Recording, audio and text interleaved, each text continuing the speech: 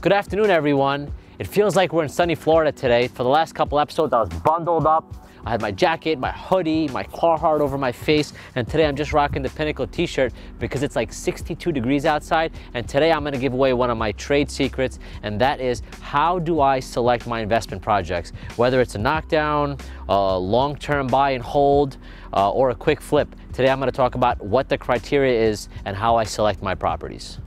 This property really sums up how I sort of approach my operation. So this house is gonna be knocked down, it's gonna be leveled, it's gonna be room for a brand new house. And I built a house around the corner. I had heard from a neighbor that uh, the person who owned this home had passed away and it was going to some heirs. And politely and persistently, I stayed on top of this lead and I knew exactly what I wanted to do here. I, I did some research, I checked out the lot size, and I realized that my typical five bed, three and a half bath, five bed, three bed, new construction, Center Hall Colonial would fit perfectly on this lot. I'll knock down that garage, free up some backyard space, widen this up. Obviously the whole house is gonna go, but I mean in terms of the footprint, widen this up and build a brand new house here. And there's a few things that are involved in a deal like this. First and foremost, this never hit the market, right? So this hits that off-market principle of sourcing your own projects before you have 100 people jumping down your throat bidding on the same property. That's number one. Number two, the numbers have to make sense, right? Uh, if I pay full retail, if I buy somebody's semi-renovated ranch, I'm not gonna make money. I need the worst of the worst. I need the cat lady's house, the old lady special, um, the foreclosure, which is which is very rare around here. I need something that no one else wants to touch, or that an end user can't just get in and sort of fix up and move in. So this property sums up how I select my new construction slash reconstruction homes and what the criteria is to get uh, the right deal. It's been on the market for a little while, you know. I think.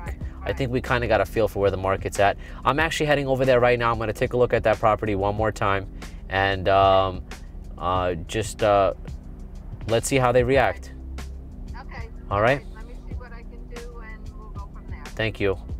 right, I'll talk to you soon. Take care. Bye. Right, bye-bye.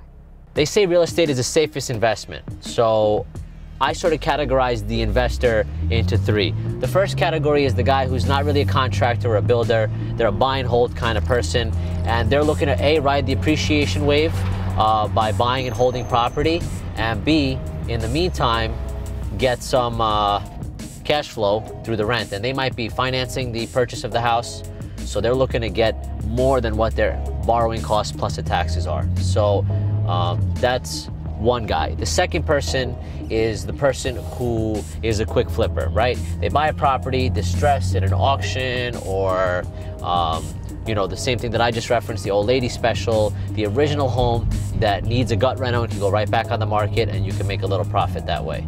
And then there's a third kind of investor, and that's the person who's the spec builder or spot builder, whatever you want to call it. Uh, and that's mostly where I fall in, where I'm going to take a property that's in a good school district um, with a tremendous upside in the sense that you can take a four or five hundred thousand dollar house, knock it down, build a brand new house, and sell it for a decent profit.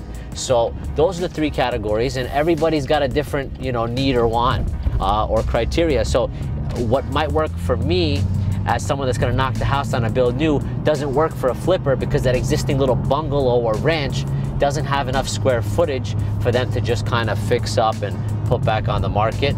And the buy and hold guy is not interested in any of that because he's looking to do minimal work and get some cash on cash return.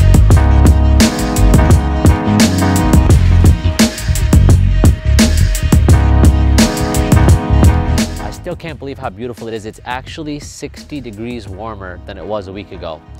But here we are in front of what I like to call the quintessential flip. This is not exactly my lane. I have a really good friend who's a high-end builder and he's looking to do something to supplement payroll and supplement income and doing these kinds of flips makes sense to him because he's got the manpower already.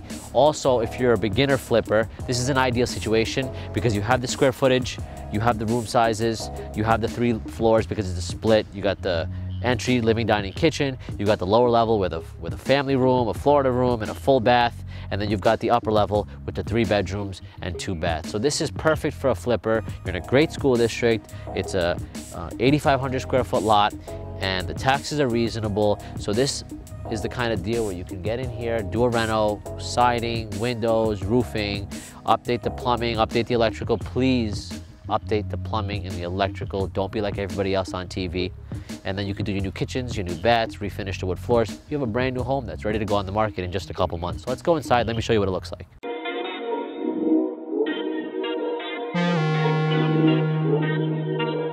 All right, so we're inside now, and I'm actually involved in this deal. I'm representing the buyer, and just look around. You can see from the furniture, the carpeting, this place is dated.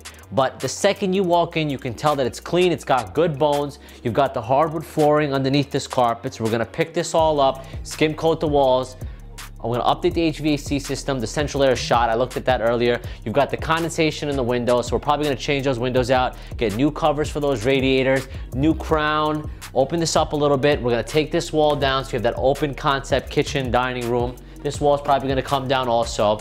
And the plan basically is to wrap this kitchen around this way, reduce the size of that window, put your sink underneath that window, relocate that baseboard, and open this up. Get a nice big island here. You still have your formal dining room over there. And now you gotta go to your two living spaces. You've got your bedrooms above, you've got your family room, your full bath and all that below. Let's come up this way. We can salvage these railings. We're gonna refinish these wood floors, okay? Obviously this paneling's gotta go, skim coat the walls. Nice big bathroom here. It's in good shape, but we're gonna rip it out. We're gonna do it over. We're gonna bring it into 2019.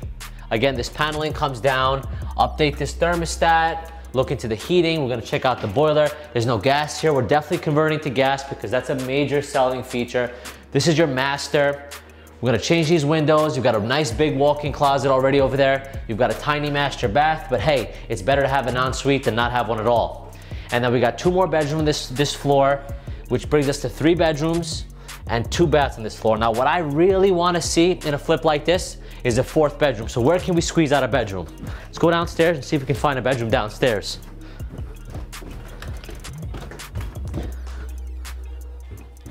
So I've got this really long family room, right? So uh, I gotta figure out a place to squeeze out a bedroom somewhere.